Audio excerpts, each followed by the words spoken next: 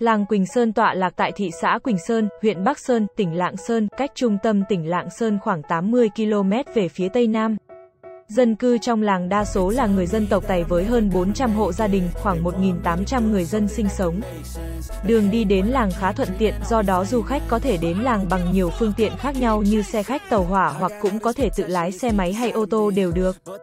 Làng du lịch văn hóa Quỳnh Sơn sở hữu nhiều hang động trong lòng núi, các núi đá vôi và các thung lũng tạo nên phong cảnh tuyệt đẹp thu hút du khách tham quan. Ghé thăm làng du lịch Quỳnh Sơn, du khách còn được tìm hiểu văn hóa đặc sắc của đồng bào dân tộc Tày và thưởng thức đặc sản nơi đây. Làng du lịch văn hóa Quỳnh Sơn vào mỗi thời điểm, mỗi mùa lại có những vẻ đẹp riêng, tùy theo sở thích cũng như điều kiện bạn có thể đến làng Quỳnh Sơn vào bất cứ thời điểm nào.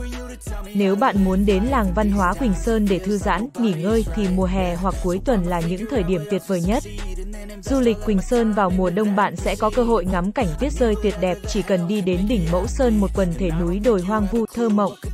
Nếu muốn khám phá văn hóa dân tộc và tham gia vào các lễ hội đặc sắc thì tháng riêng là thời điểm lý tưởng nhất. Đến với làng Quỳnh Sơn, du khách chắc chắn sẽ choáng ngợp trước vẻ đẹp thơ mộng như tranh của vùng đất này. Nơi đây có những hang động hoang sơ ẩn nấp dưới chân của những ngọn núi đá vôi cao vút, những con suối nhỏ trong vắt uốn lượn như những mảnh khăn lụa vắt trên nền xanh ngát của những cánh đồng lúa trải dài.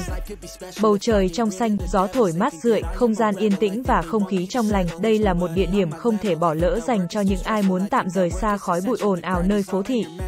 Ngoài vẻ đẹp thiên nhiên trời phú, nơi đây còn được con người điểm tô thêm một vẻ đẹp độc đáo bằng hình ảnh của hàng trăm ngôi nhà sàn với kiến trúc đồng nhất, lợp ngói âm dương, có lưng tựa về dãy núi đá vôi và đều quay về hướng nam.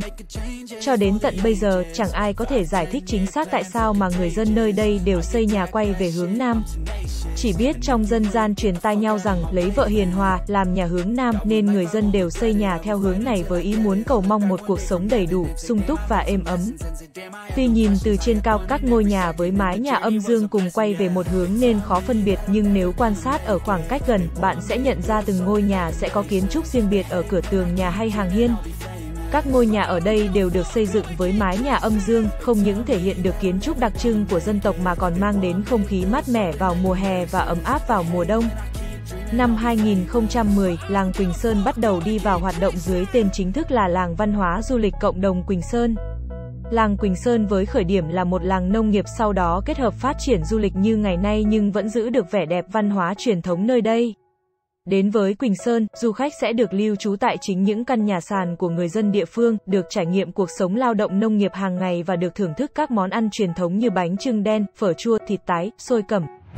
Nếu đến làng Quỳnh Sơn vào mỗi dịp 12, 13 tháng riêng, du khách còn được tham gia lễ hội lồng tồng.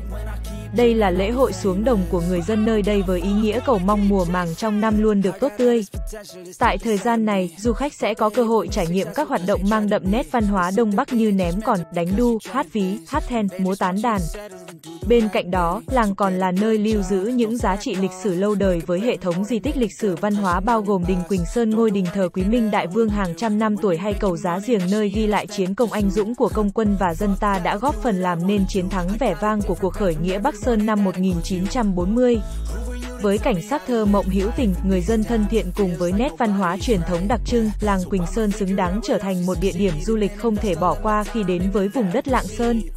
Tuy nhiên, do quy mô du lịch tại làng vẫn chưa lớn nên nếu có kế hoạch du lịch địa điểm này, bạn hãy nhớ đặt phòng trước để chắc chắn có nơi ở khi đến làng nhé.